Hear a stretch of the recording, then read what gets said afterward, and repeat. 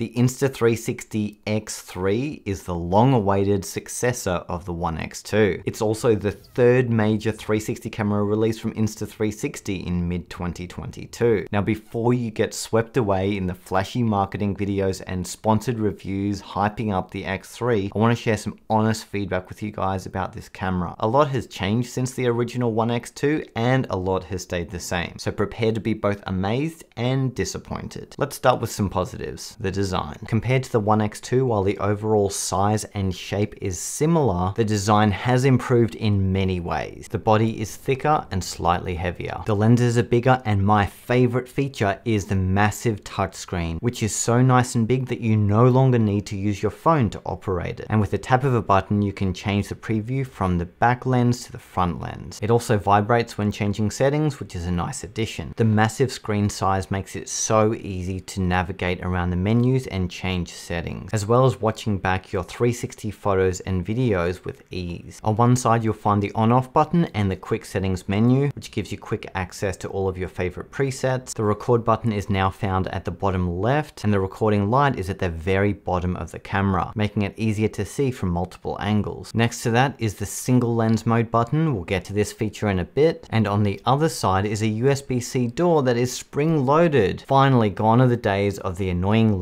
latch that never opens or closes. The new design will save you so much frustration. The battery's in the same place and this time we've got a bigger battery, yay. This one is 1800 milliamps up from 1630 of the One X2. For me, this battery has lasted between half a day and a day if you turn the brightness down a bit on the screen and only keep the camera on when you're using it. It also has the micro SD card in the same spot as before. Overall, the design is loads better and makes the user experience so much better when recording 360 photos and videos without a smartphone. Now let's talk about specs. While the sensor has been upgraded slightly since the One X2, unfortunately the 360 video resolution remains exactly the same as it's been for the past four years at 5.7K. Many of us were expecting some kind of upgrade as we were with every one of those releases and it hasn't come. Don't get me wrong, the shots are still amazing and with the addition of active HDR mode on this camera, the video quality is enhanced beyond what it was before before. So if you're shooting handheld 360 video shots outside, expect much better dynamic range. In mixed lighting, Active HDR does an okay job. It recovers some of the shadows and highlights, but don't expect miracles. If you have too much shadow in your scene, Active HDR can also cause motion blur, which hopefully they fix in future firmware updates. In low light, the X3 does pretty good because of the slightly bigger sensor than the One X2, it will perform slightly better. However, putting it side by side with a 1 RS 1 inch and the 1 inch looks much better since low light is one of its strengths. Overall though, you'll still get decent low light shots with the X3. Active HDR doesn't work well in low light because it chooses automatic settings and like you've seen in one of my previous videos, it's important to choose manual settings when shooting at night for best results. Here's another new thing that they added. It's called single lens mode, where you can choose to use one single lens of the camera at a time to record a static 4K video. And I found shooting in this mode was super easy thanks to the big touchscreen, making the overall workflow faster than if you were to reframe later in post. The quality on the spec sheet says 4K, however, to the naked eye, I wouldn't say it's the same 4K quality you'd get from a dedicated 4K action camera. It is pretty close though. Another fun mode they've added with the X3 is Me mode, where you set it into Me mode on the camera, and essentially what this does is it reframes the video toward you. This will save you reframing in post if that's your intended angle, and really don't mind this mode at all. I think it's quite cool. And while not technically a hardware update, this software update is a really cool concept. I hope we see this added to the other Insta360 cameras and not kept exclusively with the X3. Here's another new thing. Remember bullet time? There's a new bullet time that is 4K bullet time. Here I am using it, and while this shot is cool, would I call it 4K? I mean, technically it's 4K, but it doesn't really look 4K, does it? Another one they've added is 8K 360 time lapse. And this one is quite cool. I captured an 8K time lapse in Federation Square in Melbourne and the result turned out really well. So what it's done is it's essentially taken a photo every second and then automatically combined all of those photos into a high quality video file, which is definitely a cool feature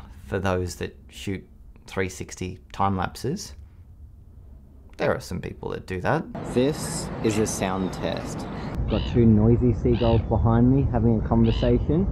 But the question is, can you hear me? Is the audio any different between the One X2 and the X3? So yes, the sound is definitely better thanks to the four onboard mics with 48 kilohertz stereo recording. In terms of 360 video capture, everything is more or less the same as it was with the One X2, such as being waterproof to 33 feet, having loop recording, and many of the same internal shooting modes as before. Now let's talk about photos, and the X3 comes with, brace yourself, you may want to sit down, it comes with 72 megapixel 360 photos. When I first heard this, I thought that's it, I'm selling all of my 360 cameras and this is going to be my go-to camera for everything. But then I tested it out. Here it is in a virtual tour situation and it seems pretty decent. But when I put it side by side with the One RS 1 inch and the Theta Z1, the level of sharpness was nearly identical despite the other two cameras having less than one third of the resolution of the X3. When looking at these side by sides, I'm struggling to see how this is 72 megapixels. I'm going to have to keep investigating and I'll let you guys know my findings. When capturing 360 photos outside in bright light, I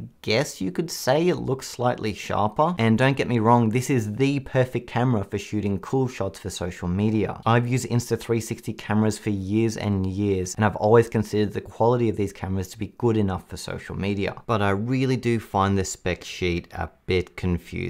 The price of the X3 is $449. Is it worth it? Yeah, look, it absolutely is. It's under $500 and the kinds of content you can shoot with it will be truly amazing and I do see this as a really versatile camera for so many different kinds of situations. The reason I'm disappointed though is that it's not that different to the previous One X2 other than a vastly improved design which may be worth it for you, might not be, as well as those extra modes they've added with this camera camera and may or may not add to their other cameras. I'm also confused by the overall release strategy of Insta360 releasing not just one, two, three 360 cameras in the last few months. And it just seems weird to me that they would all have their own dedicated launch with their own dedicated marketing videos with no hint whatsoever that the next one was coming two months later. Can you imagine if they released the iPhone 14 with a flashy marketing video and convince you to buy that phone only to discover two months later there was an an iPhone 14 Pro. And then two months after that, out of the blue, iPhone 14 Pro Max. But no, Apple don't do that. They announce all of their new products at once so you can make the choice about which one is best for you. And to me, it just seems odd that they would make cameras that are so similar overall and release them separately, knowing that they're appealing more or less to the same audience. Because look, I do think the X3 is the right camera for many of you. If you're looking to spend less than $500, you want cool content for social media, you want to shoot both flat and reframed content and all of the cool stuff that Insta360 cameras do, but some of you already bought the One RS or the One RS 1 inch a couple of months ago. So now it's harder to justify upgrading. So if you're into 360 content and you haven't upgraded your camera for a while, then I would totally consider upgrading to this. But if you have upgraded recently, don't change. The One RS 1 inch is a better 360 camera and I would consider this if you prefer quality over anything else. For me, the X3 stands out mostly for usability and being an all-in-one camera that fits easily in your pocket. The touchscreen is awesome, the new features are awesome, but overall it's not that much of an improvement over what we already had. I'll link the X3 and the other cameras I mentioned in this video down below, and you will definitely want to stay tuned for my upcoming video comparing the X3